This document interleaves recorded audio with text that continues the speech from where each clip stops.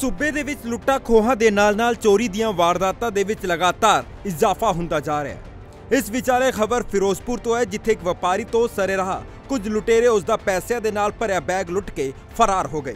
ਮਿਲੀ ਜਾਣਕਾਰੀ ਦੇ ਮੁਤਾਬਿਕ ਲੁਧਿਆਣਾ ਤੋਂ ਇੱਕ ਕਾਰੋਬਾਰੀ ਫਿਰੋਜ਼ਪੁਰ ਦੇ ਵਿੱਚ ਆਪਣੇ ਕਿਸੇ ਕੰਮ ਦੇ ਲਈ ਆਇਆ ਹੋਇਆ ਸੀ। ਜਿਵੇਂ ਹੀ ਉਹ ਡੀਆਰਐਮ ਦਫ਼ਤਰ ਦੇ ਬਾਹਰ ਪਹੁੰਚਿਆ ਤਾਂ ਇਸ ਦੌਰਾਨ ਤਿੰਨ ਲੁਟੇਰਿਆਂ ਨੇ ਕਾਰੋਬਾਰੀ ਨੂੰ ਘੇਰ ਲਿਆ। ਹਾਲਾਂਕਿ ਦੱਸਿਆ ਜਾ ਰਿਹਾ ਹੈ ਕਿ ਕਾਰੋਬਾਰੀ ਆਟੋ ਦੇ ਵਿੱਚ ਸਵਾਰ ਸੀ। ਲੁਟੇਰਿਆਂ ਨੇ ਹਥਿਆਰਾਂ ਦੀ ਨੋਕ ਤੇ ਕਾਰੋਬਾਰੀ ਦੇ ਕੋਲੋਂ ਪੈਸਿਆਂ ਦੇ ਨਾਲ ਭਰਿਆ ਬੈਗ ਖੋਹ ਲਿਆ। ਲੱਖ। ਰੁਪਏ ਦੀ ਹੋਈ ਹੈ। ਕਿੱਥੇ ਹੋਈ ਹੈ ਲੁੱਟ? ਕਿਹੜੀ ਜਗ੍ਹਾ ਤੇ? ਉਹ ਹੁਣ ਜਗ੍ਹਾ ਸਟੇਸ਼ਨ ਦੇ ਕੋਲ। ਅੱਛਾ। ਤੇ ਕੀ ਕੰਮ ਕੀ ਕਰਦੇ ਹੈਗੇ ਹੋ ਤੁਸੀਂ? ਬਿਜ਼ਨਸ ਕਰਦੇ ਆ। ਕਾਦਾ ਟਾਇਰਾਂ ਦਾ।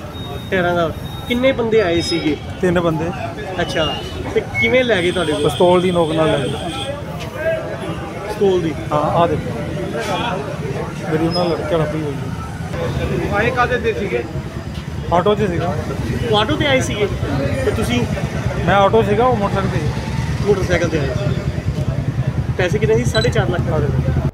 ਕਾਰੋਬਾਰੀ ਦੇ ਮੁਤਾਬਿਕ ਉਸ ਦੇ ਬੈਗ ਦੇ ਵਿੱਚ 4.5 ਲੱਖ ਰੁਪਏ ਸਨ ਜਿਹੜੇ ਕਿ ਉਹ ਟਾਇਰਾਂ ਦੀ ਦੁਕਾਨ ਤੋਂ ਸਾਮਾਨ ਦੇ ਕੇ ਲੈ ਕੇ ਆਇਆ ਹੋਇਆ ਸੀ ਕਿਉਂਕਿ ਉਸ ਦਾ ਕੰਮ ਟਾਇਰਾਂ ਦਾ ਹੈ। ਪੀੜਤ ਦੇ ਮੁਤਾਬਿਕ ਤਿੰਨੋਂ ਹਥਿਆਰਬੰਦ ਬਦਮਾਸ਼ ਇੱਕੋ ਮੋਟਰਸਾਈਕਲ ਦੇ ਵਿੱਚ ਸਵਾਰ ਹੋ ਕੇ ਆਏ ਸੀ ਤੇ ਇਸ ਦੌਰਾਨ ਬਦਮਾਸ਼ਾਂ ਦੇ ਨਾਲ ਉਹਦੀ ਖਿਸਤੂ ਵੀ ਹੋਈ, ਲੇਕਿਨ ਉਸ ਦੀਆਂ ਚੋਟਾਂ ਲੱਗ ਗਈਆਂ ਤੇ ਬਦਮਾਸ਼ ਭੱਜਣ ਦੇ ਵਿੱਚ ਕਾਮਯਾਬ ਹੋ ਗਏ। ਉੱਥੇ ਹੀ ਪੁਲਿਸ ਦਾ ਕਹਿਣਾ ਹੈ ਕਿ ਪੀੜਤ ਦੇ ਬਿਆਨ ਦੇ ਆਧਾਰ ਤੇ ਲੁੱਟ ਦਾ ਮਾਮਲਾ ਦਰਜ ਕਰ ਲਿਆ ਗਿਆ ਹੈ। ਅਣਪਛਾਤੇ ਨੌਜਵਾਨਾਂ ਦੇ ਖਿਲਾਫ ਕੇਸ ਵੀ ਦਰਜ ਕੀਤਾ ਗਿਆ ਹੈ, ਜਿਨ੍ਹਾਂ ਦੀ ਭਾਲ ਦੇ ਲਈ ਇਲਾਕੇ ਦੇ ਵਿੱਚ ਲੱਗੇ ਸਾਰੇ ਸੀਸੀਟੀਵੀ ਕੈਮਰੇ ਦੀ ਰਿਕਾਰਡਿੰਗ ਵੀ ਜਾਂਚੀ ਜਾਵੇਗੀ। ਇਹਦੇ ਬਾਰੇ ਕੁਝ ਕਲੀਅਰ ਨਹੀਂ ਹੋ ਰਿਹਾ ਜੀ। ਕਿਉਂਕਿ ਇਹਦੇ ਕੋਲ ਜਿਹੜਾ ਲੁਧਿਆਣੇ ਤੁਰ ਲੱਗੇ ਪੈਸੇ ਸੀਗੇ ਕੁਛ ਇਹਨੇ ਇੱਥੋਂ ਕਲੈਕਸ਼ਨ ਕੀਤੀ ਆ। ਪਰ ਘਬਰਾਇਆ ਇੰਨਾ ਪਿਆ ਵੀ ਕੋਈ ਦੱਸ ਨਹੀਂ ਰਿਹਾ। ਇਹ ਕਲੈਕਸ਼ਨ ਕਿਸ ਚੀਜ਼ ਦੀ ਨਹੀਂ ਕੀਤੀ ਹੈ ਟਾਇਰਾਂ ਦੀ। ਕਹਿਣਾ ਦੀ। ਟਾਇਰਾਂ ਦੀ ਲਾਈਵੀਲਾਂ ਦੀ। ਕੀ ਨਾਮ ਹੈ ਇਸ ਬੰਦੇ ਦਾ?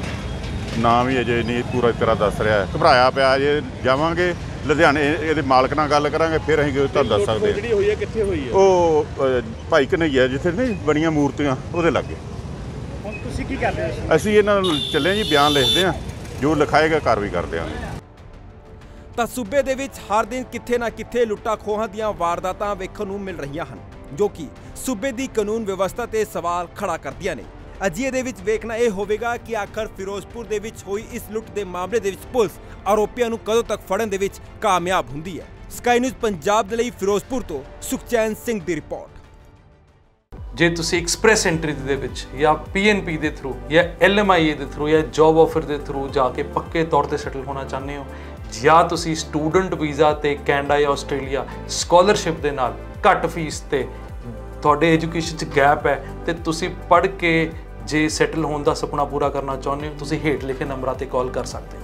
ਸਤਿ ਸ਼੍ਰੀ ਅਕਾਲ। ਹਰ ਖਬਰ ਦੀ ਤਾਜ਼ਾ ਅਪਡੇਟ ਦੇ ਲਈ ਸਾਡੇ YouTube ਚੈਨਲ ਨੂੰ ਸਬਸਕ੍ਰਾਈਬ ਕਰੋ, Facebook ਚੈਨਲ ਨੂੰ ਲਾਈਕ ਅਤੇ ਸ਼ੇਅਰ ਕਰੋ।